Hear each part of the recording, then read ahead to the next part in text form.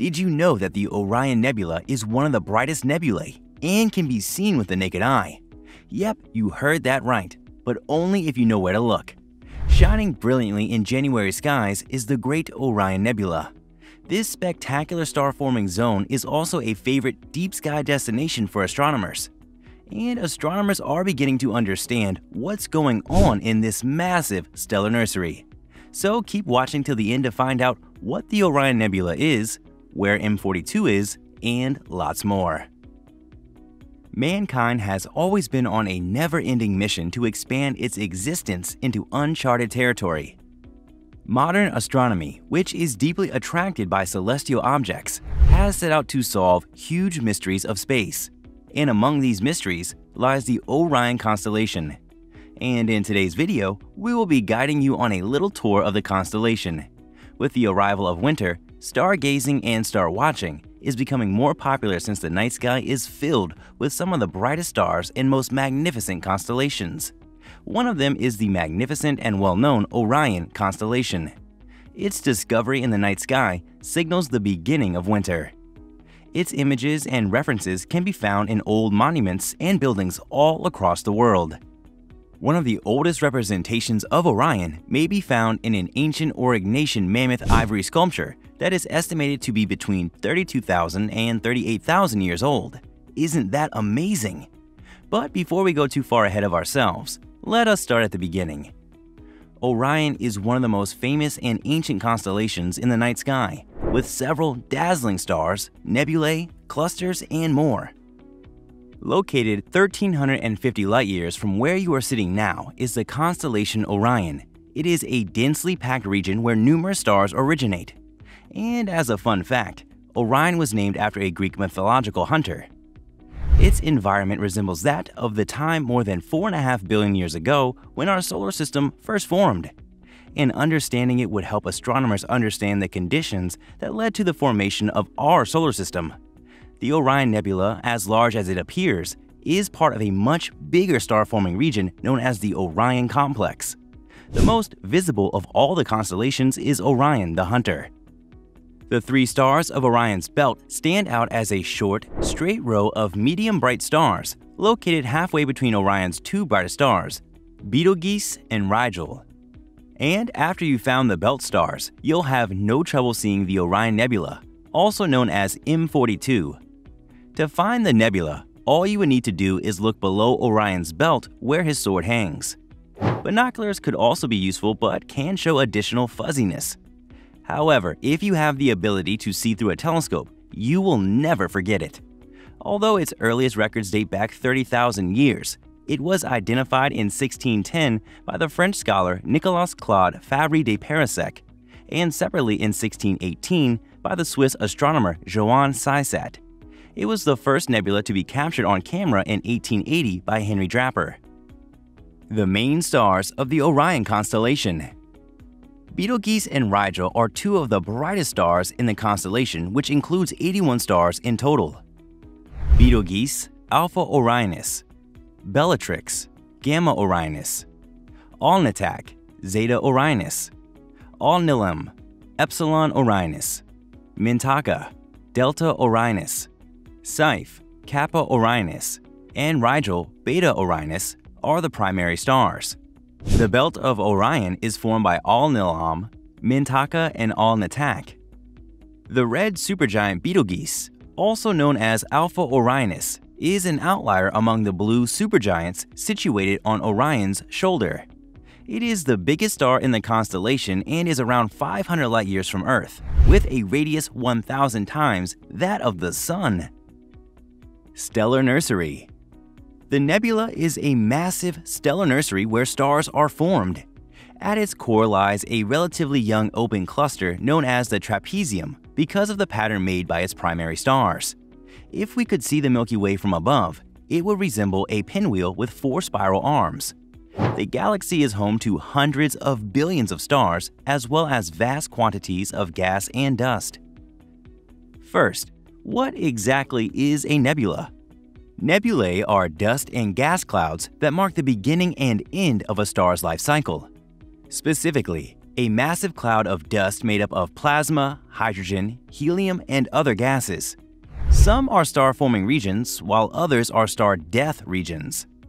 The Orion Nebula is the latter. It comprises the most visible and consistent winter vistas in the Northern Hemisphere. There are multiple nebulae in our galaxy and they are also found in other galaxies. So, getting back to what we were talking about, the trapezium appears to be the unaided eye as a single star. Due to the formation's four big stars' trapezoid-like shape, scientists gave it the name trapezium. When observed via a low-power telescope, the star is divided into four, A, B, C, and D, from west to east, with C being the brightest. A larger, higher magnification telescope exposes two more, E and F, while the biggest amateur telescopes may reveal G and H, which constitute a double star. It is challenging to detect colors in the nebula, despite what high-resolution Hubble Space Telescope photos or even photographs made by amateur astronomers indicate. Using telescopes, some observers have noted a tint of green or purple in the clouds around the central stars.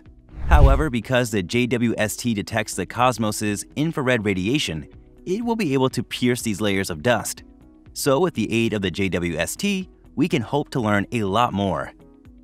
Evolution of the Orion Nebula The busy stellar nursery is filled with towering pillars of gas and dust that house newborn stars.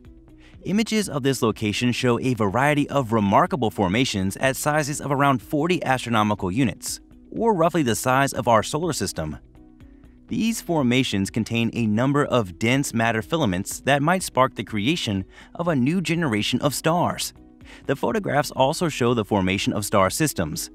These are made up of a core protostar surrounded by a dust and gas disk within which planets originate.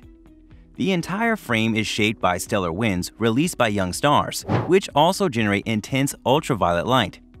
According to the European Space Agency, the Hubble Space Telescope recorded the sharpest view of the Orion Nebula ever seen in 2006, a breathtaking image exposing more than 3,000 stars, some for the first time. And in 2016, the most detailed and complete image of the Orion Nebula revealed even more planet mass objects and brown dwarfs. Recent Hubble Space Telescope investigations revealed protoplanetary disks within the Orion Nebula. This is a significant finding. They are known as proplyds which are assumed to be systems in the early phases of planetary system development. The sheer number of star systems formed has been used to demonstrate that star system creation is very common in the cosmos. When clusters of hydrogen and other gases in an H2 zone shrink due to their own gravity, stars form. The core cluster becomes stronger as the gas collapses and the gas warms to high temperatures by converting gravitational potential energy to thermal energy. If the temperature rises sufficiently, nuclear fusion will begin, resulting in the formation of a protostar. When a protostar begins to release enough energy to balance its gravity and prevent gravitational collapse, it is said to be born. The many colors of the Orion Nebula When viewing images of the Orion Nebula, you may have observed that there appear to be a variety of colors, and for good reason. The majority of the colors are caused by distinct chemical elements. According to NASA, the orange shade represents hydrogen, the green color represents oxygen, and the red color represents both sulfur and infrared light observations. Our eyes, unlike Hubble's, cannot differentiate the brilliant colors of the Orion Nebula.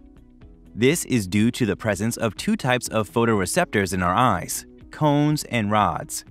According to the Rochester Institute of Technology, rod cells are active at low light levels but are unable to see color or fine details whereas cone cells are active at higher light levels and are capable of perceiving color. When seen with the naked eye, binoculars, or a telescope, the Orion Nebula looks like a gray smudge to most people. According to Leisure and Entertainment magazine, Jersey's Best, if the conditions are ideal, it is possible to observe the blue-green tint generated by oxygen ions in the Orion Nebula.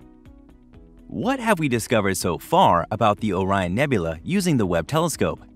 So basically, the latest photos taken by the James Webb Space Telescope's NIRCam are the most detailed and clearest we've seen yet. However, the investigation is ongoing, but we hope to discover something new and exciting about this amazing corner of the cosmos. Fine patterns in the nebula's thick dust and gas clouds are far more visible in the photograph than in a prior image acquired by the Hubble Space Telescope. The newer picture concentrates on the Orion bar, which runs diagonally from the top left to the bottom right. Within this bar, intense photons from stars in the trapezium cluster, top right corner of the picture, interact with a molecular cloud, causing complicated ionizing processes. The star Theta 2, Orionis A or 2 Orion, appears brilliantly in the middle of the bar, with the typical diffraction spikes caused by the mere design of the James Webb Space Telescope. A deeper examination will, perhaps, reveal more about the various and different processes shown in this picture. So, do you think we'll be able to learn anything from the Orion Nebula? Let us know what you think in the comment section below.